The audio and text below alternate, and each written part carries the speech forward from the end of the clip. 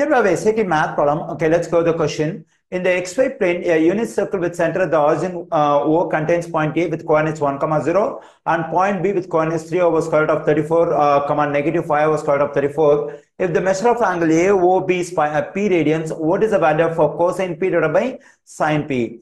Okay, first let me draw the xy plane over here. Let me draw it. So this is x-axis and uh, this is y-axis. And uh, now uh, let me mark the x-axis and y-axis over here. This x-axis, y-axis. And uh, so here I have a point here that is 1 comma 0. Let me mark a 1 over here. So then this point is on x-axis and it's 1 comma 0. That's a point A and the origin now O is over here. Now let me consider the coordinates of the point B. It's over here. So the x coordinate is positive and the y coordinate is negative. Since the x coordinate is positive and the y coordinate is negative, it has to be in the fourth uh, quadrant over somewhere else over here. That is uh, 3 comma 3 sorry 3 over square root of 34 uh, comma negative 5 over square root of 34 actually this is a point uh, b okay now let me make a right triangle uh, over here uh, just a moment let me draw it Okay, so here and from the point B, let me draw a vertical line to x-axis over here.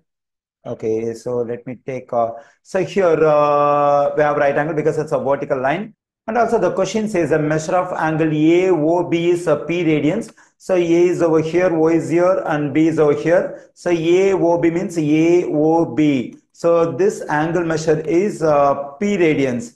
Okay, now let's consider the side which is opposite to this angle P. So then this side is called the opposite side and uh, this side is uh, opposite to the right angle. So this is hypotenuse in this right angle and the name of the third side over here is uh, adjacent side.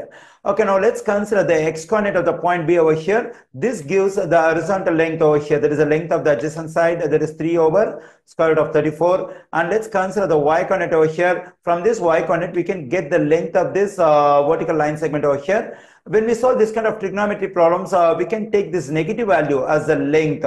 So usually we don't consider the negative value as the length, but when we solve this kind of trigonometric problems uh, with uh, like uh, xy plane, we can take this negative value as the length uh, of this uh, vertical length. So the length of this opposite side is uh, negative 5 over square root of 34.